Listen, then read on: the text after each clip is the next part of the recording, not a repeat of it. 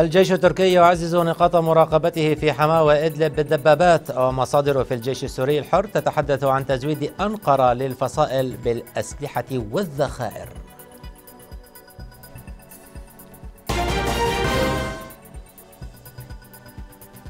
لجنة أممية تقول إن أكثر من مليون سوري تم تهجيرهم جراء هجمات النظام على مناطق المعارضة خلال النصف الأول من العام الحالي. بعد انضمامهم لقوات النظام مقتل العديد من عناصر المصالحات خلال المعارك الدائرة مع تنظيم الدولة في بادية السويداء.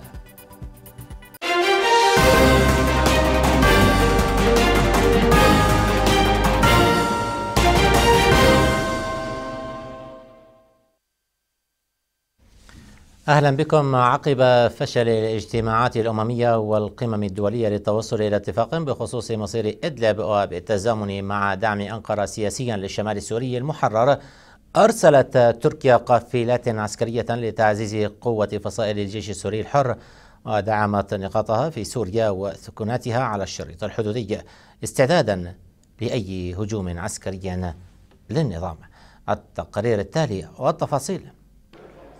ليست الاجتماعات الدولية والأممية بخصوص الملف السوري هي فقط من يمكنها أن تدير دفة المركب السوري بل إن القوى الإقليمية الرئيسية الفاعلة والمعنية بالشأن السوري تفرض رؤيتها على الأرض أيضا وخاصة عندما تكون المنطقة متداخلة جغرافيا واستراتيجيا معا.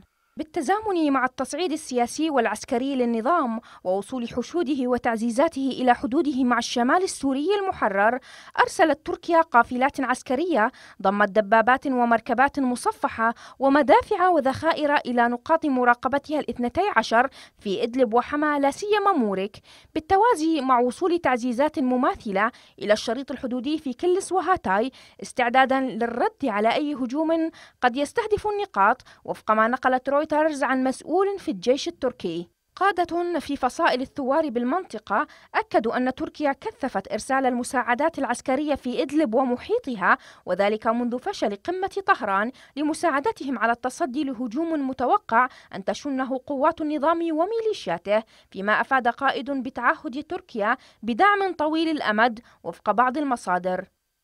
الحرب الباردة في الشمال السوري يذوب جليدها بين الفينة والأخرى قصف من النظام ورد من قبل الثوار كاستهداف الثوار في الجبهة الوطنية للتحرير مطار حما ومدرسة المجنزرات منطلق مروحيات النظام ومواقع أخرى في قرية عطشان فيما رجحت صحيفة أمريكية تأجيل العمل العسكري بسبب عدم كفاية عناصر النظام لمواجهة عشرات الآلاف من المقاتلين. وضمن التصريحات السياسية التي لم تتوقف حول إدلب دعمت قطر مجددا على لسان وزير خارجيتها المخطط التركي مطالبة بالتعاون مع أنقرة لضمان حماية المدنيين وتفادي كارثة إنسانية في إدلب. فيما دعت لجنة التحقيق الدولية بشأن سوريا الفصائل إلى مغادرة المناطق السكنية لتجنيب المدنيين الهجوم في مشهد حمل بين طياته الإشارة إلى المجرم وأداة الجريمة مع إلقاء اللوم على غيره. اطلعوا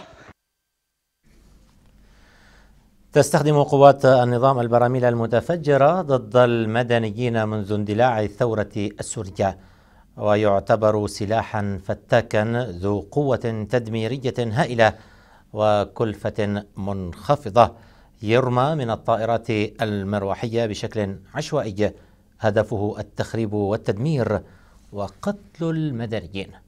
المزيد نتابعه في سياق هذا التقرير. التفنن في قتل السوريين أصبح أحد سمات عناصر قوات النظام فهذه الذكرى التي تركها من ألقى هذا البرميل الذي لم ينفجر في بلدة كفرزيتا دليل واضح على أن قوات النظام لا تفرق بين عسكري ومدني بل هدفها الأول والأخير هو قتل شعب خرج مطالبا بالحرية بأكثر الصور وحشية حسب قول ناشطين. بالنسبة للبراميل البراميل تفجيرها هائل كثير كانت البراميل تنزل يعني عبارة عن تهد مكان أو غرفة أو غرفتين أو بالأماكن اللي هي فيها يعني شبه هذا.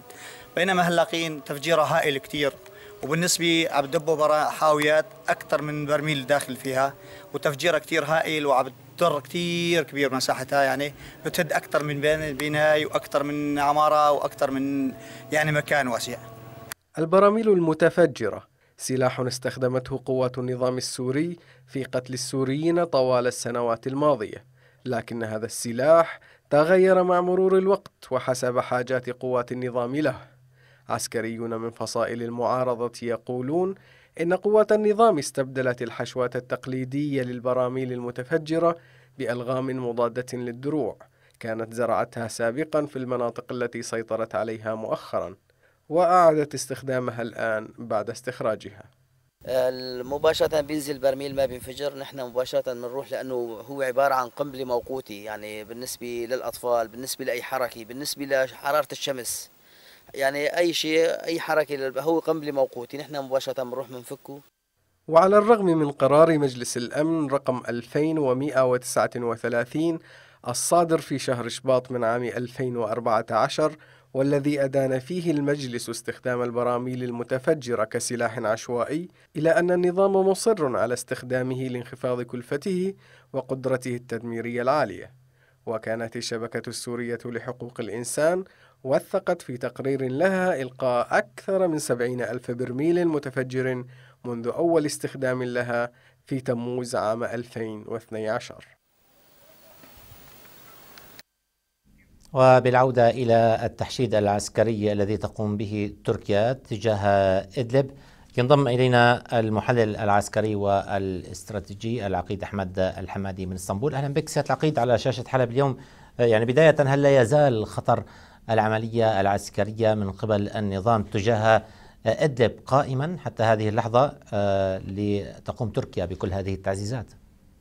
السلام عليكم. عليكم السلام. قوات النظام لا تزال تعزز قواتها آه، رغم كل ما حدث من آه، تحذيرات أوروبية وتحذيرات أمريكية وكذلك دفع بالقوات التركية إلى الداخل بقوام قوات آه، ربما تكون هجومية لمنع أي اختراق لهذه المنطقة إلا أن الخطر لا يزال متواجد ما دام هناك لا يوجد قرار سياسي بمنع هذه العملية من قبل داعمي النظام وخاصة الروس، الروس قالوا ربما نؤخر هذه العملية وعلى تركيا أن تفكك المجموعات الإرهابية هكذا قال البيان الروسي إلا أن تركيا هي لا تزال تعزز قوات المعارضة تعزز قواتها في الداخل حتى آه، زودتها بدبابات وراجمات صواريخ ومدفعية.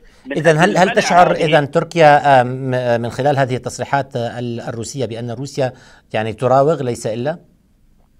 روسيا منذ بداية الأزمة السورية ودخولها آه، في سوريا كقوة عسكرية مساندة لقوات الأسد هي تكذب وتراوغ دخلت من أجل قتال تنظيم داعش ولكن قاتلت الجميع إلا تنظيم داعش. آه، هي اخترعت مسار أستانا لأجل حرف الحل السياسي عن جنيف ولكنها استخدمت هذا المسار نعم. من أجل تحقيق أغراضها العسكرية التي لم تستطع بالقوة العسكرية هي ثبتت الجبهات ومن ثم انقضت على كل جبهة على حدة حتى وصلت الأمور إلى إدلب طيب. هي من هجر كل المقاتلين الذين تدعي اليوم بأنهم هم إرهابيون من هجر مقاتلي الغوطة والقلمون وحمص و القلمون الغربي والشرقي ودرعا والكنيسره ووادي بركة وقابول هي روسيا باتفاقيات طيب. روسيا لذلك روسيا وضعت هؤلاء في هذه المنطقة لتستخدمهم طيب. كورقة من أجل الانقضاض على آخر معاقل الثورة بحجة الإرهاب من أجل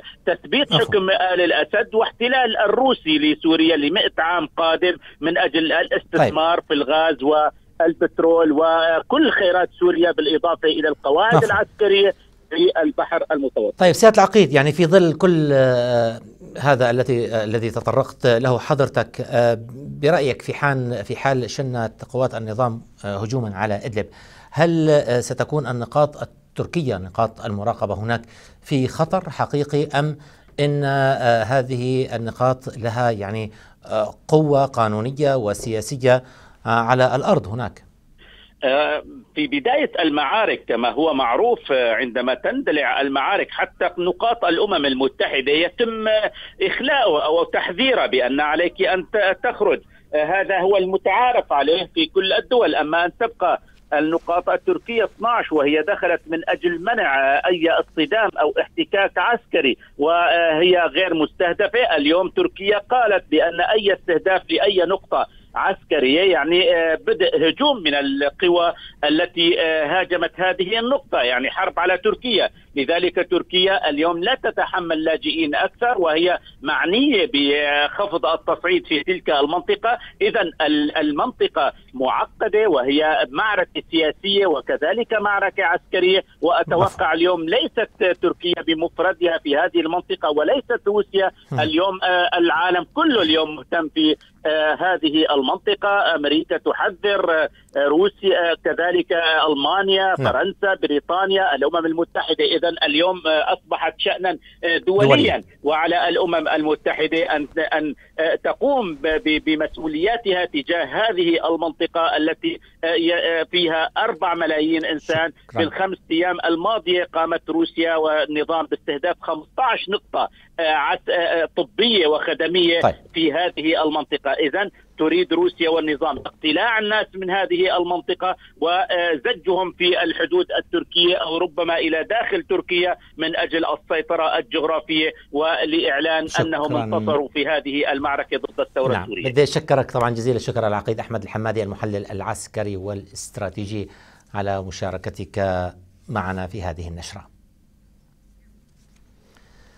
تمكن جهاز الاستخبارات التركية من اعتقال يوسف نازيك مخطط تفجير الريحانية الذي حدث عام 2013 واقتياده إلى الأراضي التركية. العملية عملية الاعتقال تمت ضمن مدينة اللاذقية مسقط رأس نظام بشار الأسد. المزيد نتابعه معا في سياق هذا التقرير. مدينة الريحانية. شهدت مدينة الريحانية التركية القريبة من الحدود السورية في أيار عام 2013 تفجيرين استهدفا المدينة. أسفرا عن سقوط 53 ضحية مدنية إضافة لإصابة العشرات بجروح. الحكومة التركية حملت مسؤولية التفجيرات في الريحانية آنذاك لنظام الأسد والذي نفى ضلوعه في هذه التفجيرات.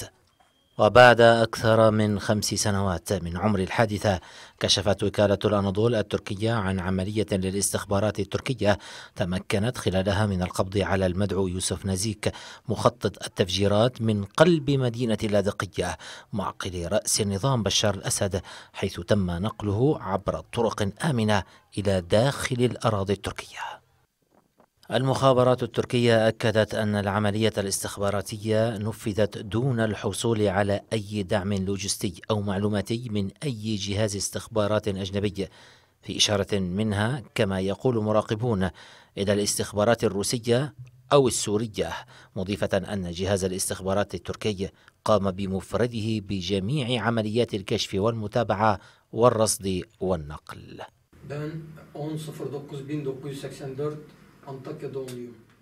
مخطط التفجيرات والمدرج على القائمة الزرقاء للمطلوبين يوسف نازيك من مواليد مدينة أنطاكيا في ولاية هاتاي اعترف بتخطيطه وتنفيذ التفجير مع أصدقائه بناء على تعليمات وأمر من المخابرات السورية التابعة لنظام الأسد حيث أجرى عملية استطلاع لإيجاد مواقع بديلة لتنفيذ تفجيرات أخرى داخل تركيا كما أكد إشرافه على عمليات إدخال المتفجرات من سوريا إلى تركيا وتأمين سيارتين لتفخيخهما بالمتفجرات. اعتراف نازيك لم يقتصر على التواصل مع استخبارات النظام فحسب بل شمل إدلاءه بمعلومات مفصلة عن معراج أورال زعيم ما يعرف بالمقاومة السورية في لواء إسكندرون والذي تتهمه تركيا بالمسؤولية عن التفجيرات. وبين اعتقال نازيك والتوتر الأمني الذي يشهده الشمال السوري يرى مراقبون أن أنقرة أرادت إيصال رسائل لنظام الأسد من خلال عملية الاعتقال تشير إلى قدرتها على الوصول إلى عقر داره.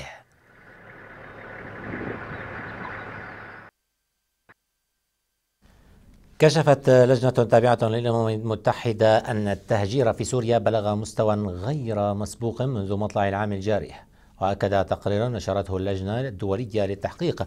أن أكثر من مليون شخص بينهم أطفال هجروا بسبب الهجمات التي شنها نظام الأسد على المناطق الخاضعة لسيطرة المعارضة خلال الأشهر الستة الأولى من العام الجاري. وحذرت اللجنة من احتمال تكرار هذا الوضع في محافظة إدلب في حال فشل المفاوضات مبينة الظروف المعيشية السيئة التي ترك بها المهجرون قسريا أو ترك بها المهجرون قسريا ديارهم ومنازلهم. مشاهدينا نشرتنا مستمرة وتتابعون فيها بعد فاصل قصير.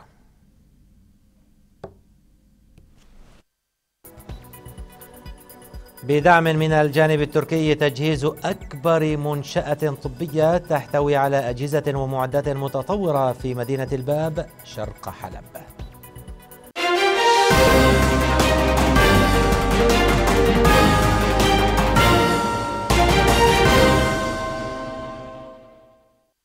الحقائق تأتي أولا.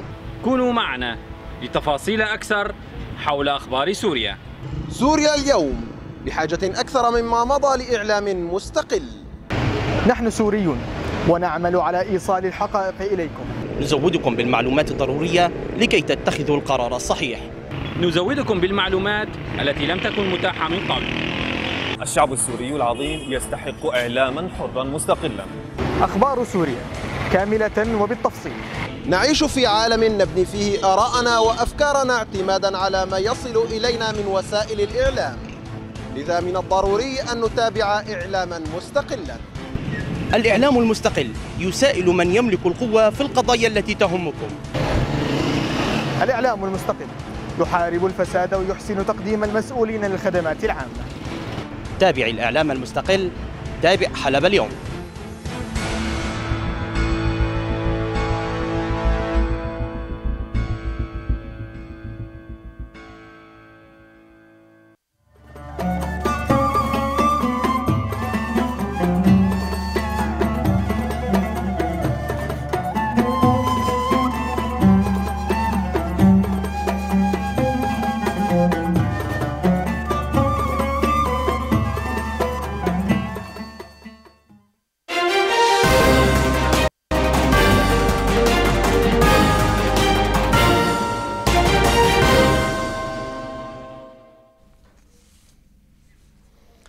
أهلا بكم من جديد. كشفت خلال الأيام القليلة الماضية مسؤولية نظام الأسد عن عدة جرائم في داخل سوريا وخارجها.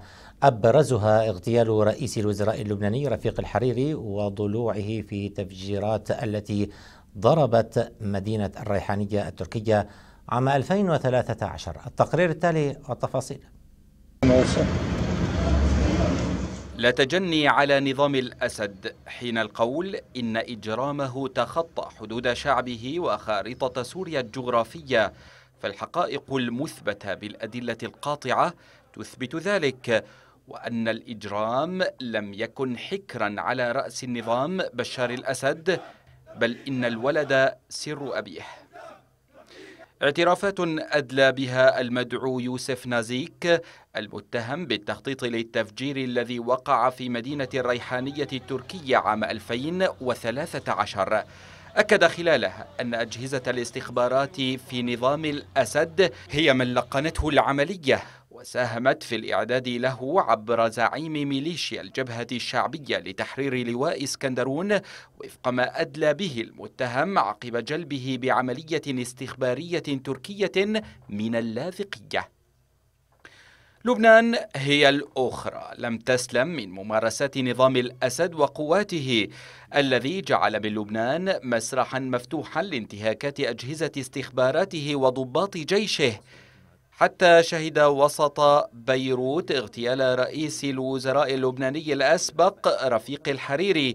وجاءت التحقيقات لتكشف ضلوع نظام الأسد وميليشيا حزب الله فيها. وكرر الادعاء العام في المحكمة الخاصة بلبنان التي تلاحق المتهمين بالاغتيال تأكيده بالأدلة حصول اتصالات بين قياديين من حزب الله اللبناني وبين مسؤول الأمن والاستطلاع في قوات النظام التي كانت في لبنان العميد رستم غزالة وبين العميد غزالة وبشار الأسد أثناء التحضير للجريمة. سجل ممارسات نظام الأسد بكل شخوصه ورموزه وأجهزته الأمنية والعسكرية وميليشياته بحق الشعب السوري يكاد يكون كتابا مفتوحا للجرائم المنتهكة كل المعايير والقوانين الوضعية والشرائع السماوية.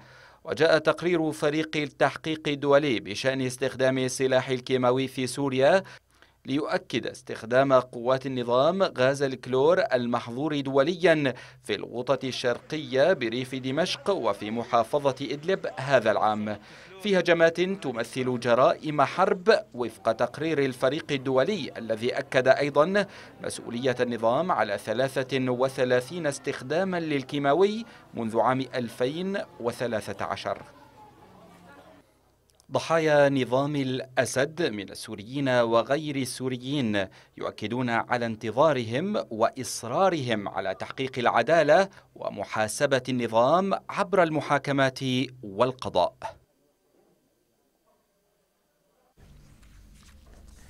قتل 14 عنصرا من المنتمين إلى قوات النظام خلال اشتباكات مع تنظيم الدولة في منطقة تلول الصفا الواقعة بين محافظتي ريف دمشق والسويداء وحسب مصادر خاصة بحلب اليوم فإن أغلب الذين قتلوا هم من مرتبات الفرقة الرابعة والفيلق الخامس.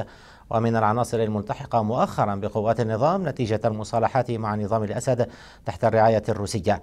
رجحت المصادر احتمال إقدام قوات النظام على تصفيتهم كما حدث مع بعض العناصر في معسكر جورين شمال غرب حماة وفي ريف اللاذقية منذ أيام.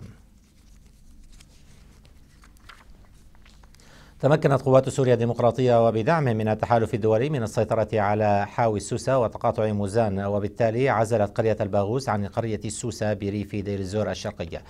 يأتي ذلك بعد ساعات من إعلان قسد بدء عمليتها العسكرية الهادفة إلى السيطرة على آخر مناطق تنظيم الدولة إلا أن عناصر التنظيم تمكنوا من التصدي للهجوم وقتل وأسر عدد من عناصرها.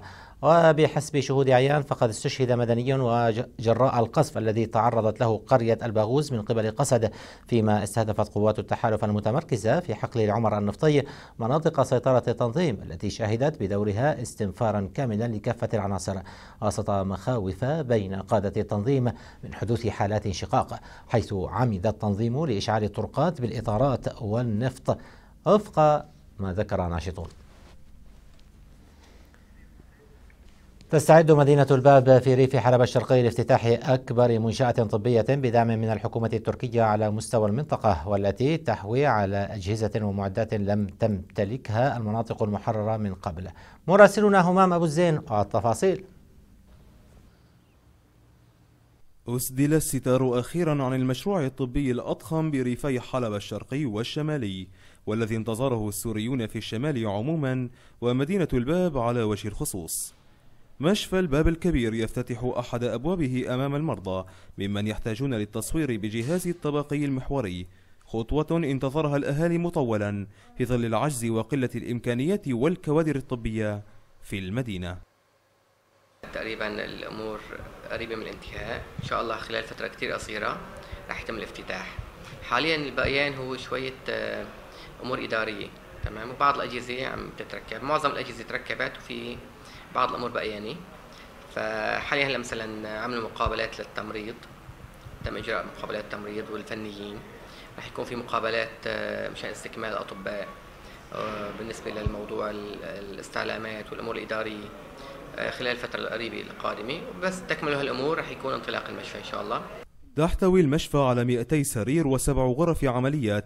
ووفقا للمصادر الطبية فإنه من المقرر أن يزود المشفى في وقت لاحق بجهاز الرنين المغناطيسي وأجهزة غسيل الكلى بالإضافة إلى تأمين العلاج الكيميائي والشعاعي. وتقدم المشفى جميع خدماتها الطبية بشكل مجاني تماما فيما لا يزال قسم الصيدلة وتوزيع الأدوية. قيد الدراسة حتى الآن. لا في المرحلة الأولى رح نضيف حوالي 120 شخص. يحملون شهادات طبية تمريض وفنيين وبالإضافة لبعض الأطباء وحوالي المئة شخص أيضا بالوظائف الإدارية. آه، في عنا نقص في بعض الاختصاصات ممكن نتواصل مع بعض أطباء البلد إن شاء الله نحاول نأمن لهم آه، دخول إلى البلد حتى يرجعوا يشتغلوا بالمشفى. إن شاء الله المشفى هلأ رح يشتغل مبدئيا بحوالي 50% من طاقته. المشفى بني بإشراف مباشر من الحكومة والسلطات التركية وعمل المجلس المحلي على انتقاء الأطباء والممرضين بعناية مراعين موضوع الكفاءات والشهادات التي يملكونها لتجنب جميع الأخطاء الطبية التي حصلت بالسابق. معظم المستلزمات والأجهزة الطبية التي كانت تفتقدها مشافي المنطقة توفرت هنا. في مشفى مدينة الباب الجديد بهدف توفير العلاج لأكبر عدد ممكن من قاطني الشمال السوري المحرر.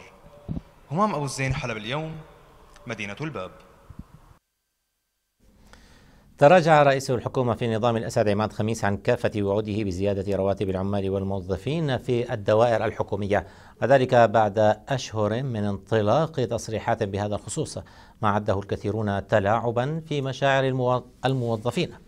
وصرح خميس خلال اجتماع له مع مالكي أحد المشاريع الاستثمارية بأن عموم الموظفين يتحدثون عن زيادة الرواتب في حين لديه خطة بديلة وهي تأمين المزيد من فرص العمل وفق قوله.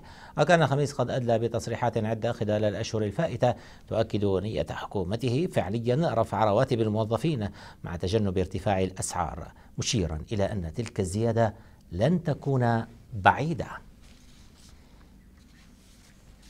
يعاني المزارعون في مدينة عفرين بريف حلب الشمالي من قلة المواسم الزراعية للأشجار المثمرة كالرمان والزيتون كما يشتكي الأهالي من صعوبة توفير الأيدي العاملة والأسمدة والمياه للعناية بالأشجار وزيادة إنتاج محصولها.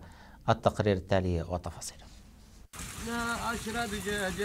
على أنغام وترانيم كردية يبدأ المزارع أبو حنان يومه في مسقط رأسه عفرين وكما هي العادة الشاي أولا تحت ظلال الأشجار وعلى أغصانها. كرم الرمان هذا الذي ورثه أبو حنان عن أبيه وجده. هو حياته اليومية ومصدر رزقه ولقمة عيش أطفاله. بيد أن الموسم الحالي لم يكن كما تمناه أبو حنان ومن ينتظره خلف الأبواب. الموسم السنة كموسم فيه بس من المحسن نحكم عليه عجب. إيش الأسعار؟ عجب من بيع عجب ما نبيع عجب في طرقات عجب إيش بصير ما بنعرف والله. فبنتمنى يعود السلم وهالبضاعه هي بس نطالع حق مصروفنا حق مازوطاتنا. وبالأول مازوت يعني أول قديما 7 ليرات ما نحس فيها. بس هلا 200 ليرة 250 ليرة بالأزمة عم بيوصل 400 ليرة. من الرمان إلى الزيتون وجميع الأشجار المثمرة. تلقي مشكلة أبو حنان ذاتها ظلالها على أبو عبدو وغيره من المزارعين في منطقة عفرين. ليضطر هذا الكهل إلى العودة للأساليب البدائية. بعد ضعف الإمكانيات التي تواجهها الزراعة في المنطقة كنقص المحروقات والمبيدات الحشرية والأدوية وقلة الاهتمام والرعاية. السنة الماضي كنا نرش دواء كنا نشتغل فيه كنا نفلح آه نتعب حالنا فيها. إيه هالسنة ما هو مثل غير السنوات. يعني هالسنة لا تواخذني آه كنا نفلح أربع دورات هالسنة نفلح ما عالم ما فلح دورة. غيري ما فلح دورة. رئة الشمال السوري كما تسمى. آلاف الهكتارات من المساحات الخضراء في عفرين وحدها تواجه أعتى الصعوبات لا سيما انتشار الألغام الأرضية ومخلفات الحروب في مساحاتها الحراجية بانتظار أن تجني عملية غصن الزيتون ثمارها. نهاية النشرة ولمزيد من الأخبار. يمكنكم متابعتنا على وسائل التواصل الاجتماعي وعلى موقعنا الإلكتروني حلب دوت نت. دمتم برعاية الله وحفظه. إلى الملتقى.